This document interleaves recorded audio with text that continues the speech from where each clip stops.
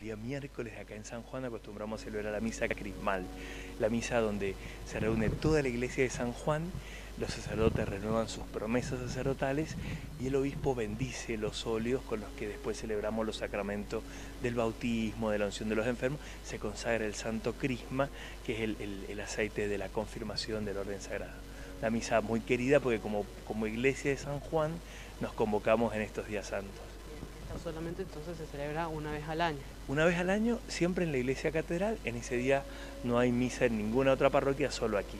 Bien, y en esta misa solamente están eh, invitados eh, todos, los, todos los, sacerdotes de todas las, parroquias. Están invitados todos los sanjuaninos. Entonces decimos una misa muy multitudinaria, llegan de todas las parroquias, de todos los movimientos, pero también llega el, el sanjuanino de a pie, digamos, el que dice, yo voy porque es la misa donde está toda la iglesia de San Juan. Bien, eh, ¿podemos recordar eh, a qué hora va a ser? El día miércoles a las 20 horas.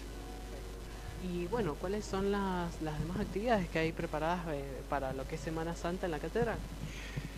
A partir del jueves tenemos ya la misa del lavatorio de los pies, de la última cena, a las 21 horas aquí en la iglesia catedral.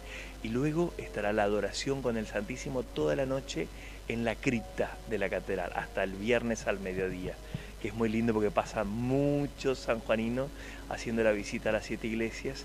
Entonces, el, día viernes celebraremos la Pasión de Cristo a las 3 de la tarde y a las 19 el Via Crucis en torno a la Plaza 25.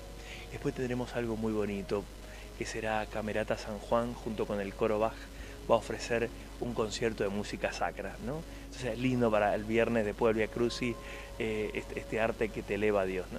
Y el día sábado ya nos disponemos para la vigilia pascual, esa gran misa muy solemne del año, celebramos la resurrección de Cristo.